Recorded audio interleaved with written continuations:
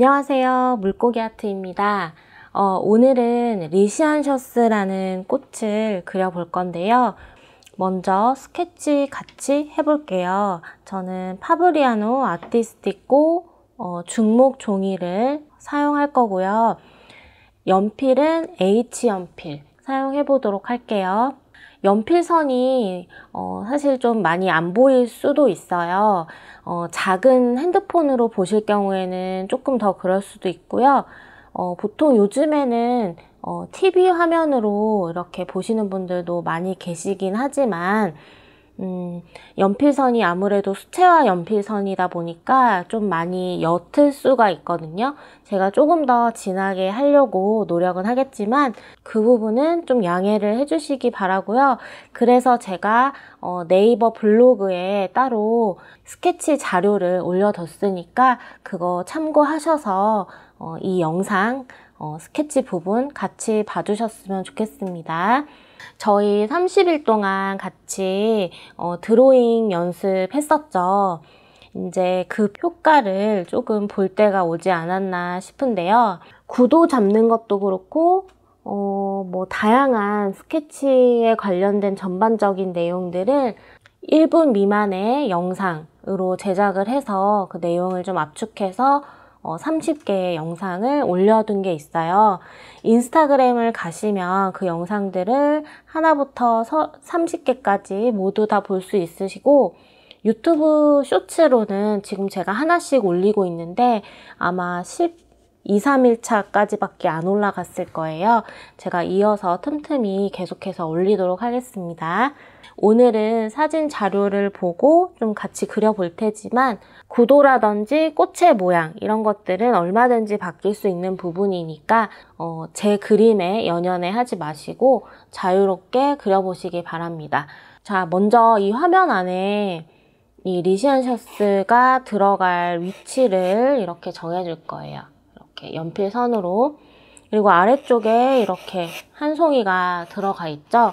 그래서 여기에 어, 전체적인 스케치를 잡아주실 때는 이렇게 큰 마름모라든지 마름모의 형태라든지 뭐 세모라든지 네모라든지 그런 큰 도형 위주로 이렇게 덩어리를 좀 잡아주시는 게 좋, 좋습니다. 그리고 어느 정도 꽃의 크기로 들어갈 것인지 그런 폭이라든지 뭐 넓이라든지 뭐 그런 것들 다양하게 같이 잡아주시면 돼요. 하지만 이제 요거는 어디까지나 이제 가이드 선이기 때문에 어, 바뀔 수 있다는 점 인지를 항상 하시고요. 사진에서는 꽃봉오리 하나가 여기쯤에 있는데요. 저는 어, 약간 이렇게 삼각형 구도로 주고 싶어서 이렇게 꽃이 하나, 둘, 셋 이렇게 좀 삼각형 구도를 좀 만들어주고 싶어서 조금 더 아래쪽에 내려서 여기다가 한번 그려보면 어떨까 싶거든요.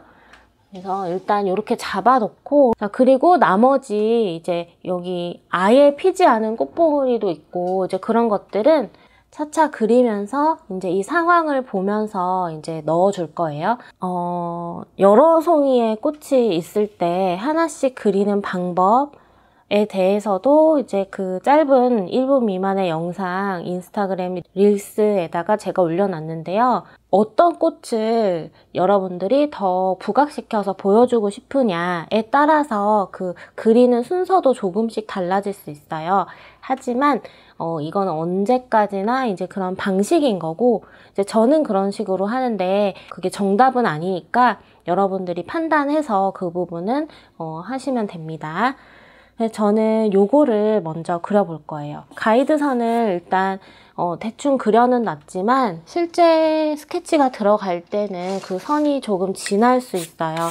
그래서 지우개에 요 면을 사용해서 한번 어, 쓱 지워주고요. 어차피 스케치는 우리만 보이면 되니까요. 기울기 같은 거를 잘 봐주세요. 이 꽃잎의 기울기.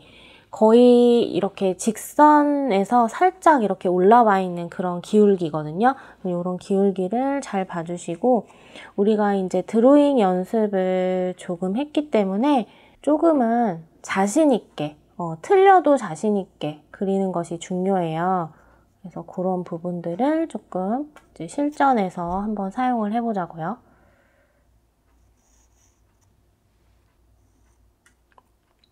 앞에 이 두 장의 꽃잎은 가장 위에 올라와 있는 꽃잎이기도 하지만 이 꽃의 꽃 전체의 그런 그 폭이라고 해야 되나요? 이 넓이를 정해주는 그런 꽃잎이에요. 그래서 요거를 그리실 때 어느 정도의 길이로 내가 그릴 것인지 뺄 것인지 그거를 보면서 그려주시면 됩니다. 혹은 내가 조금 더 작게 하고 싶다면 여기를 좀 더 짧게 해주시면 전체적으로 좀 작아지겠죠? 이렇게 이렇게 하는 거는 사실 안 해도 상관은 없는데요. 이 연필도 물감 채색을 할 때 그러니까 물이 묻게 되면 음, 녹는 부분이 있어요. 어, 흑연 연필 심이 물에 녹거든요. 스, 이렇게 스며시 녹아서 이게 그 어, 약간 차분하면서 그런 은은한 느낌을 어, 만들어 주기 때문에 어, 사실 조금 더 그런 깊이 있는 어, 저기를 색, 색칠을 하고 싶다라고 한다면 어, 이런 부분들도 좀 해주시면 좋아요. 이거는 필수는 아닙니다. 사실 어, 수채화 그림이 그 스타일이 여러 가지가 있잖아요. 근데 저는 어떻게 보면 좀 단점일 수도 있고 뭐 장점일 수도 있는데 사실 좀 옛날 그 입시 미술에 습관화가 되어 있어서 어, 이렇게 좀 그리는 것도 있어요. 그래서 이게 더 편한 것 같아요. 저는 사실은 여태까지는 그냥 어, 요즘 스타일의 수채화라고 해야 되나 아무튼 그런 느낌으로 좀 그려왔었는데 앞으로는 조금 더 이제 저의 스타일로도 한번 그려볼까 싶어요. 사실 어떤 스타일이 또 저의 스타일인지 또 저도 찾고 있는 음, 그런 단계일 수도 있어요. 그래서 일단 그때그때 하고 싶은 대로 한번 저도 해보겠습니다. 꽃이기 때문에 사실 이런 음영들을 너무 세게 넣지 않는 게 좋아요.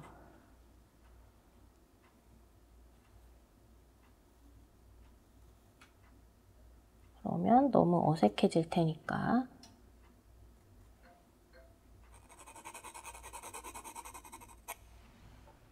연필선도 보시면 빛이 이제 이쪽에서 온다고 가정을 했을 때 이쪽 부분이 완전 등지고 있는 부분이잖아요. 그래서 음, 연필선 자체 이렇게 옅은, 옅은 연필선을 깔아주는 그 자체 연필선도 여기가 조금 더 많이 쌓이고 조금 더 세, 세게 눌러주는 그러니까 좀 많이 쌓인다는 느낌이 더 맞겠죠? 그러니까 여러 번 쌓아주는 게 맞고 이런 데는 어, 좀 약하게 어, 한두 번으로 그냥 끝내는 게 좋겠죠. 음.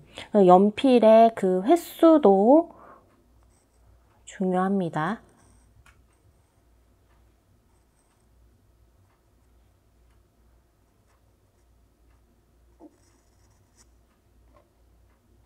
그래서 지금 제가 이 젤에다가 받치고 하고 있는데요. 이 젤이 쉽지, 쉽지만은 않아요. 목을 조금 더 편하게 해주는, 그쵸, 숙이지 않아도 돼서 좀 편하게 해주는 거는 있지만, 팔이 아파요. 일단 기본적으로 그 팔을 거의 이렇게 들고 있어야 되기 때문에 어깨하고 팔이 많이 아픕니다.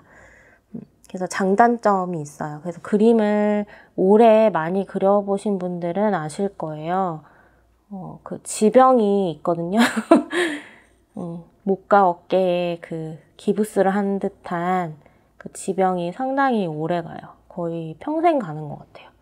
그리면서 항상 우리의 눈은요, 레이저를 쏘면서 이 사진 속에 내가 그리고 있는 이 부분과 내가 그리고, 내 손으로 내가 그리고 있는 이 느낌이라든지 그런 것들이 어, 잘 맞는지 그런 것들을 늘상 체크를 해주셔야 됩니다. 어, 손만 그냥 그린다고 되는 것이 아니고 음, 계속해서 어, 봐주셔야 돼요. 이렇게 요 정도만 하면 될 것 같아요. 어, 수채화 스케치에서의 그 연필 음영 요 정도면은 딱 적당하고요. 여기 이제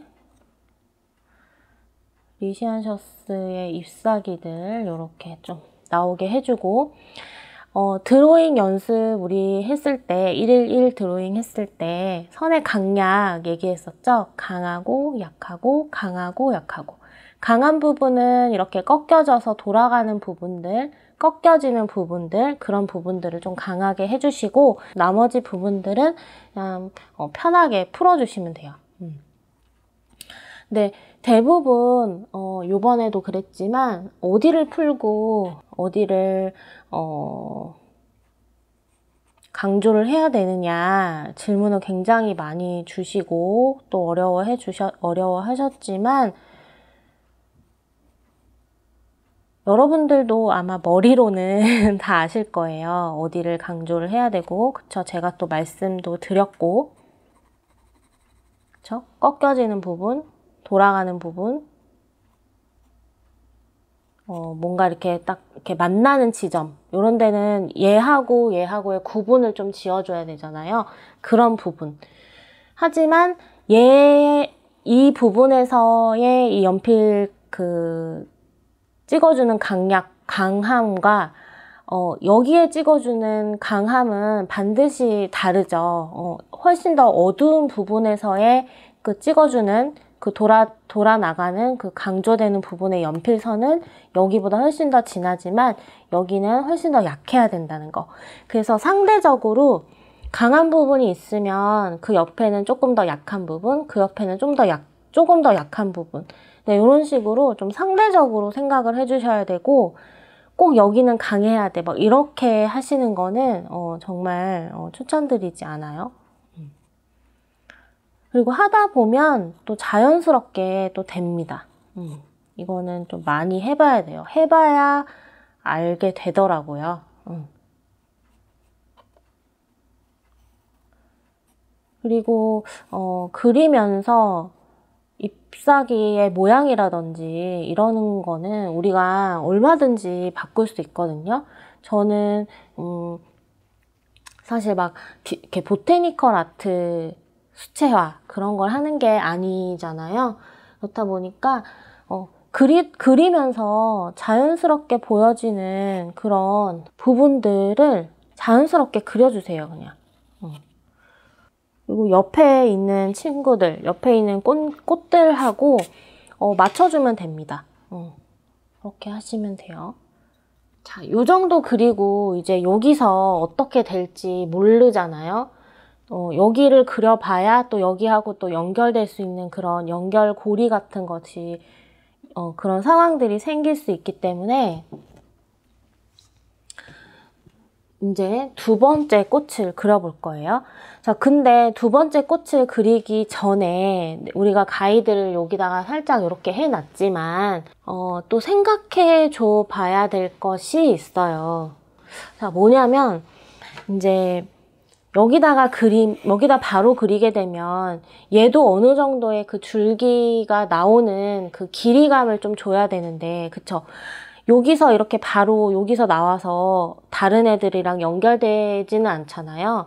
그래서 얘를 그리기 전에 얘하고 조금 어느 부분에서라도 좀 만날 수 있는 어, 그런 여지를 좀 주고 얘를 그렸으면 좋겠어요. 음, 일단은 리시안 셔스 같은 경우는 이 줄기, 한 그 줄기에서 이렇게 사진에서도 바, 보이시는 것처럼 이렇게 하나가 더 이렇게 나오잖아요. 이렇게 두 개의 줄기로 나눠지는데 그러면은 그 나눠지는 것에 다시 합쳐지는 부분이 있을 거고, 그쵸? 한번 일단 말한 김에 한번 그려볼게요. 자, 위에는 이따가 생각해주고 자, 이렇게 두 개가 만나는 그 줄기가 있을 거고 그러면 이 줄기에서 그렇죠? 줄기에서 다시 또 하나 나오는 요거를 좀 만들어 줬으면 하는 거죠. 그렇죠? 요렇게 여기. 그래서 여기서 이제 이렇게 또 만나는 그래서 좀 점점 더 이렇게 그 줄기가 굵어지는 그런 형태잖아요. 어, 그래서 요런 거를 그래서 나는 이제 여기서 나올 거야. 라고 하고 이 꽃의 방향도 정해질 거고 그쵸? 그러면 이런 방향이 될 거잖아요. 요 방향에 맞춰서 그래서 이제 요 꽃을 그려볼 거예요. 꽃을 그리려고 딱 했는데 정말 복잡하죠. 사실 리시안셔스 같은 경우는 복잡한 그 꽃, 정말 정말 복잡한 꽃들에 비해서는 복잡하지 않지만 너무 예쁜데 딱 그리기 싫게 생겼잖아요. 그렇지 않나요? 저는 음, 사실 이런 꽃잎이 많은 걸 별로 안 좋아해요. 너무 예쁜데 어, 그리기 어렵잖아요. 그쵸? 어, 그래서 저는 이제 어떻게 그리냐면 뭐 지금까지도 뭐 이제 쭉 그려왔지만 제일 먼저 뭘 그려야 될까? 무엇을 먼저 어, 그려줘야 될까? 어디서 시작을 먼저 해줘야 될까를 항상 어, 떤 꽃을 보던지 어떤 식물을 보던지 나무를 보던지 어, 떤 사물을 볼 때 제일 먼저 생각하는 게 그거거든요. 그래서 제가 음, 항상 말씀드리는 것이 가장 먼저 올라와 있는 그러니까 이제 이게 이제 2D잖아요. 3D가 아니라 입체가 아니라 이제 평면이다 보니까 이런 거죠. 자, 이 제도비가 제일 밑에 있고 아니 종이가 제일 밑에 있다고 쳐볼게요. 종이가 제일 밑에 있고 자, 그 다음 이 제도비가 있고 그 다음 이 붓이 있고요. 그 다음 이 연필이 있어요. 그쵸? 그리고 그리고 또 하나 또 해보면 그 다음에 또 제 손이 있어요. 그쵸? 제 손이 있어요. 손가락. 그러면 뭘, 뭐부터 먼저 그려줘야 되냐는 거예요. 어, 물론 전체를 먼저 그려줘야 하지만 우리는 일단 전체 가이드를 좀 잡아놨고 제일 위에 올라와 있는 것부터 그리자는 거예요. 어. 자, 그러면 얘를 그리고 나서 그 밑에 있는 얘를 그리면 되고요. 얘가 그려지게 되면 이제 또 요걸 그리면 돼요. 근데 제일 밑에 있는 것부터 그리려고 하니 또 이거에 따라서 또 위에가 달라질 수도 있고 또 얘를 그렸는데 또 여기 연결선도 그쵸? 이, 이, 이 연결선도 잡아줘야 되고, 그쵸? 그리고, 어, 또 여기서도 또 막 뭘 이렇게, 이, 이거 있잖아요. 빗자루, 빗자루가 아니라, 어, 제도비. 제도비의 이 질감도 표현을 해줘야 되고, 수많은 선, 음, 해줘야 되는데, 겹쳐지는 부분에는 어떻게 그릴 거냐는 거예요.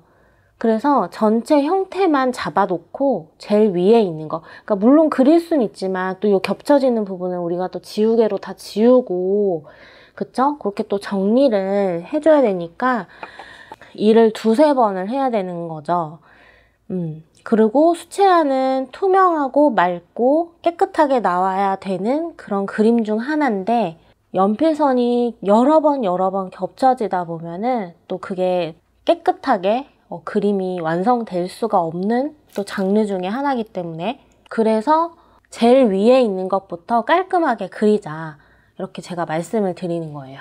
자, 그러면 이 꽃잎에서 제일 위에 올라와 있는 게 뭐냐는 거죠? 제일, 제일 앞에 있는 것들이 보통 제일 위에 올라와 있는 거죠.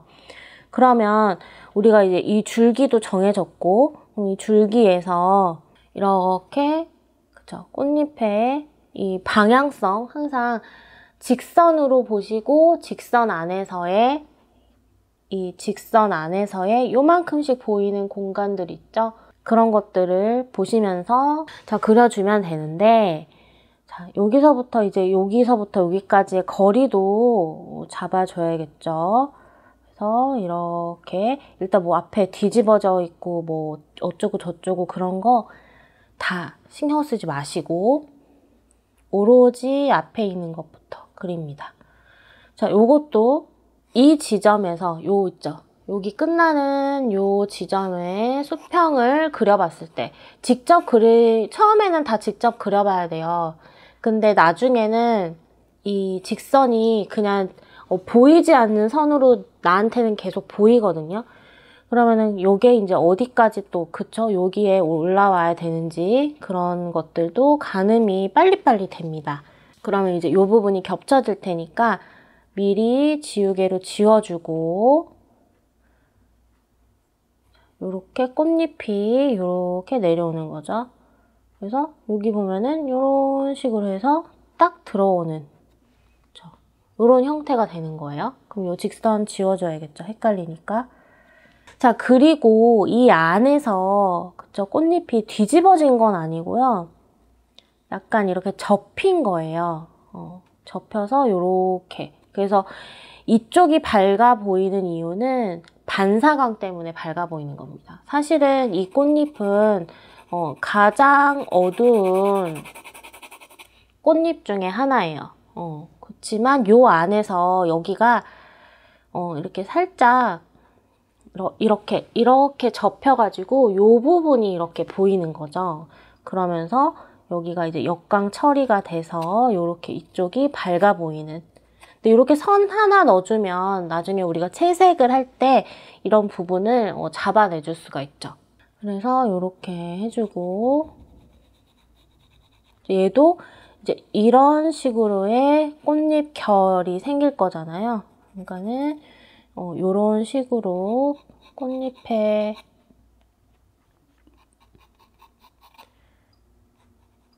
결 표현도 해주면 뭐 나쁘진 않겠죠. 그리고 이제 여기 보시면 여기가 밝죠? 음, 사진상에도 여기가 밝죠? 요것도 어, 이, 이렇게 들어오는 어, 사방에서 들어오는 이런 식의 빛이 반사가 돼서 여기가 밝아지는 거예요.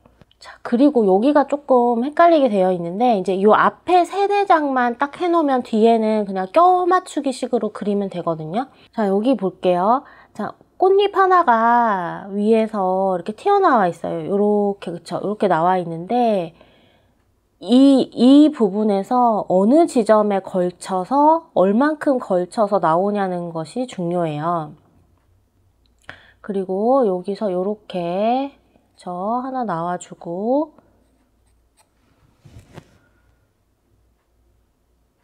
자, 여기 이렇게 하나가 딱 꺾여지는 그 지점 보이실 거예요. 요거를 수직으로 이렇게 눈에 레이저를 쏴서 수직으로 이렇게 내려보면요. 요쯤에서 이렇게 꺾여지는 걸 볼 수 있습니다. 이렇게. 그리고 여기서 이렇게 나오고요. 여기 꺾여지는 부분에서 이런 식으로 뒤로 싹 들어가게끔 이게 어떻게 된 건지 아시겠죠? 그래서 여기는 요만큼은 이제 꽃잎의 두께가 보이는 거예요. 그러면은 여기가 어둡죠? 이런 거 먼저 이렇게 체크해주면 좋겠죠? 그리고 바로 아래쪽으로 이제 이렇게 꽃잎이 하나가 이렇게 들어옵니다. 여기 이거와 이거 사이에 이 부분은 지금 굉장히 어둡죠. 그래서 이런 거를 미리 어둡게 해놓는 거예요. 그래야 스케치 하면서도 어, 헷갈리지가 않아요. 자, 이렇게 해서 안쪽으로 모이게 만들어 놓고 들어 놓고 이제 여기서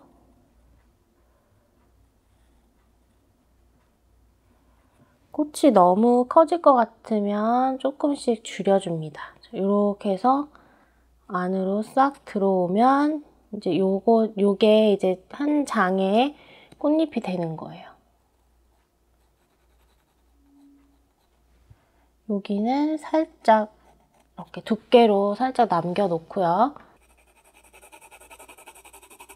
자, 이제 여기가 어느 정도 끝이 나왔죠? 그러면 여기서 하나씩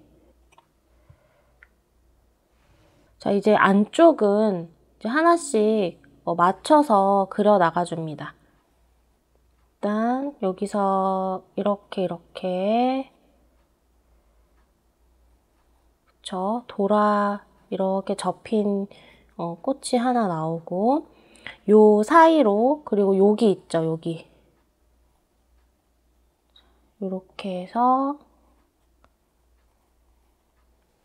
얘는 대체적으로 어, 꽃이 이렇게 측면이 많이 보이기 때문에 좀 어두운 부분이 많습니다.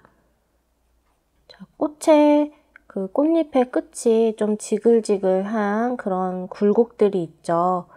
그런 것들 맞춰서 그려주시고 여기도 접힌 느낌들 어, 표현해주고 이런 데는 꽃잎이 이제 하나 둘씩 겹친 그런 모양들을 이렇게 잡아주면 됩니다. 어, 여기는 진짜 마음대로 그리시면 돼요. 자, 그리고 이제 나머지들은 좀 크게 크게 보여지는 것들, 이제, 어, 라인을 보면서 외곽에 그 라인 있죠? 이런 걸 보면서 어떻게 들어가고 어떻게 나오는지, 어디랑 겹쳐지는지, 그 다음에 이제 요런데 또 디테일하게 또 하나 요렇게 보이는 거 있죠? 요런 거 그려주고요. 전체적인 이제 꽃의 형태를 좀 만들어 가면서 그려주면 돼요. 얘는 이쪽으로 조금 더 이렇게 치우쳐서 이렇게 들어가 있는 것처럼 그렇죠? 이렇게 그려줍니다. 이제 여기에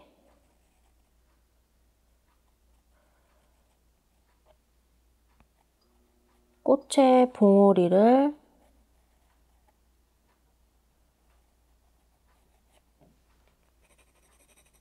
그려주고요. 여기가 좀 복잡하죠. 그래서 꽃받침의 그 부분을 약간 아래로 당겨서 이렇게 그려줄게요. 이런 부분들은 뭐 얼마든지 여러분들이 어, 바, 자유롭게 바꾸실 수 있는 부분들이니까 이 부분 이렇게 연결을 해서 여기로 그냥 살짝 이렇게 그냥 봉오리 요 정도 아주 약하게 해줄 거예요. 이렇게 있는 것처럼 거의 있는 둥 마는 둥 근데 어, 안 하는 게 더 나을 것 같아요. 어, 왜냐면 여기에 좀 방해가 되는 것 같아서 일단 잠깐만요. 과감하게 빼고 그냥 이 부분을 저이 뒤로 넘어가는 걸로 하지 말고 여기서 그냥 봉오리가 하나 어, 이렇게 있는 걸로 끝낼게요. 어, 여기서 이렇게 뒤쪽으로 약하게 그냥 한두 개 있는 걸로 해서 어, 끝내고 여기서 이렇게 하나 이렇게 줄기를 하나 더 빼서 봉오리를 그려줄게요. 이파리 부분을 좀 이렇게 만들어내고 스케치를 마무리하면 될 것 같아요. 자, 이렇게 오늘은 어, 리시안셔스 그림 스케치 한번 해봤고요. 사실 오늘 어, 이 붓을 좀 이야기하면서 색칠까지 해보려고 했는데 어, 시간이 안 될 것 같아요. 그래서 요거는 어, 루벤스 붓이고요. 제가 요거를 요거를 제공을 받은 붓이에요. 그래서 요걸로 다음 시간에 어, 채색을 한번 해보려고 합니다. 이게 붓이 굉장히 탄력이 있고 되게 탱탱한 붓이에요. 초보자분들한테 좋을 것 같고 어, 뭔가 이렇게 컨트롤이 잘 되더라고요. 약간 탄력이 있는 붓들이 내가 원하는 대로 약간 이게 그 붓 방향이라든지 뭐 이런 것들이 좀 조정이 잘 되는 편이에요. 천연모, 완전 흐물흐물하는 그런 천연모들보다는 그래서 요거를 한번 다음 시간에 써서 채색을 한번 해보겠습니다. 이 스케치 자료는 제가 블로그에다가 어, 올려뒀으니까 여러분들 참고하셔서 요거 어, 스케치 있죠? 사진도 보시면서 손수 직접 한번 해보시기를 정말 정말 권해드리고요. 저는 다음 주에 이 그림으로 여러분들하고 채색 같이 하러 또 올 거니까요. 한 주 잘 보내시고 어, 저와 다음 주에 만나셨으면 좋겠습니다. 감사합니다. 안녕.